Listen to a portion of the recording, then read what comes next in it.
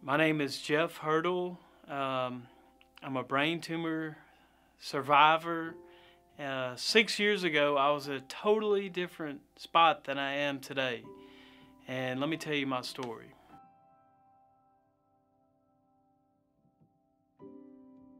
So in 2009, I was diagnosed with a brain tumor, and it it uh, it happened really fast, and I was having terrible headaches, and I went to the doctor and got a scan, and and I was uh, showed up on the on the CAT scan, and I had to have surgery, brain surgery, um, within like two days. So that just started a huge process of hospital brain surgery. After about eight weeks of of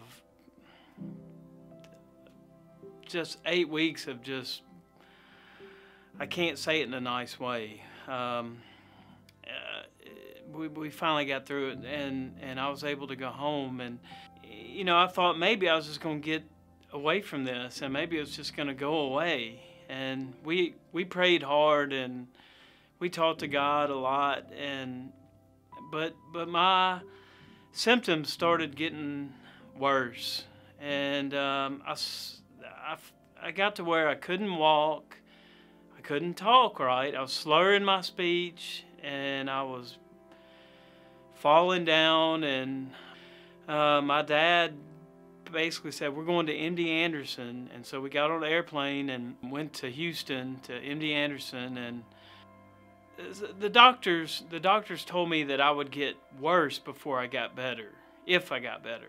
From the first day, I knew that something was, was going on. This was not normal. And I started getting better the first day of treatment. What's a prosperity gospel guy down there?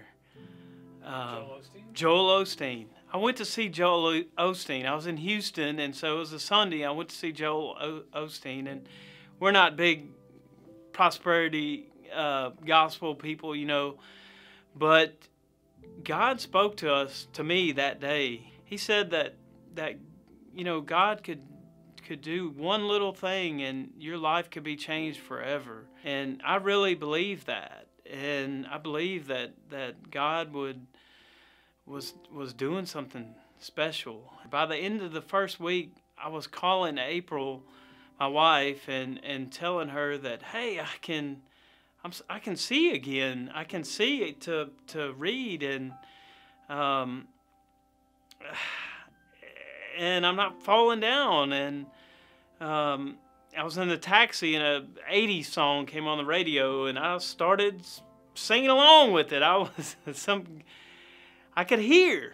I was getting my hearing back. And it just went like that through the whole process. I was there for seven weeks and I just got better, just completely better. It was amazing. I knew that, that God was was with us and we had felt his his presence. When when all that was when I was getting better every day, we knew God was there with us. Uh, but the tumor was still there, and so the mental uh, aspect I mean, knowing that I had a, a large tumor in my head was was not giving me comfort. so I did a year of chemo by mouth, and the tumor still stayed about, you know, it shrank about 5%. But I went back for one of my checkups. This is probably 2013, and uh, I had been having headaches again, and I was like, oh, you know, the tumor's back. I was really scared.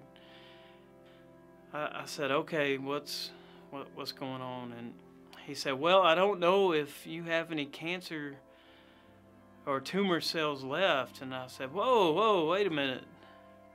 cells? What are you talking about? I've got a large tumor. He said, well, it's not on the MRI anymore. We don't see anything.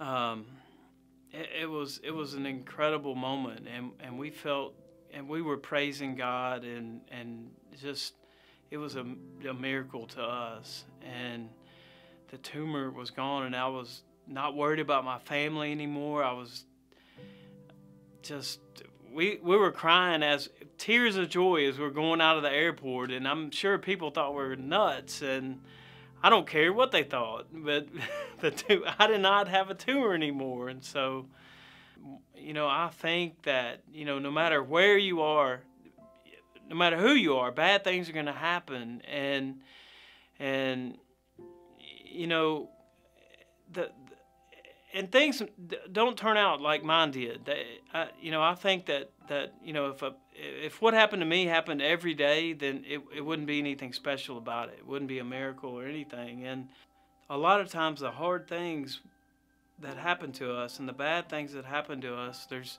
something good on the other side, and maybe we grow. Maybe we change. Maybe we get healed but something good is on the other side. And if we just, if we just know that that we put our put it all on God, He's going to take care of us. That's that's pretty much my story.